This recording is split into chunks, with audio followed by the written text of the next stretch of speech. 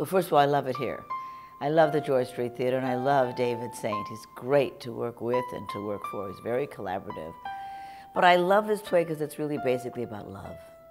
You know, it's what will you do for love and how do you repair love and how do you braid the love of your family into one, you know, composite thing. Well, she's a fixer for sure. She wants everything to work out all right for everyone. She wants to take care of everybody, and she does. And she uh, is resourceful. I love women who are resourceful, you know, who aren't, who aren't frightened to, you know, get out there and, and make something happen. And Alice is definitely somebody who makes things happen in her life. And, and when she sees a problem, she wants to solve it. It isn't, you know, some people see a problem, they say, well, you know, they really fouled up. My dad used to say there are two kinds of people in the world those who stop at a traffic accident to see if they can help, and those who just drive by. Alice would stop and help.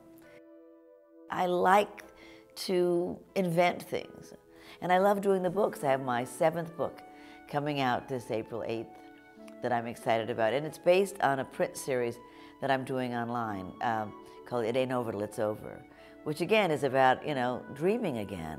A lot of women uh, had a dream that kind of ran out on them. You know, you wanted a family, and but pretty soon there's a time with your family gets to be at, the kids get to be about 15, and your husband's life hasn't changed, and if you've been a stay-at-home mom, your life has changed. So what's your next dream? I really want to speak to that woman and help her figure out that it's it's not over till it's over. If you're 45 years old, you could live another 45 years, you know. So it's time to find another dream.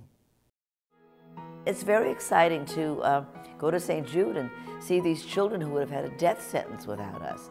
I mean, it's, there isn't anything in my life that's that exciting.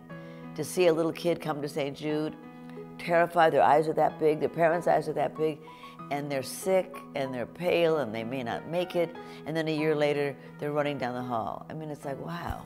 I mean, talk about a high, you can't get any higher than that. I just think of myself as someone who's very curious and thinks, oh, that, I could do that. That would be fun to do.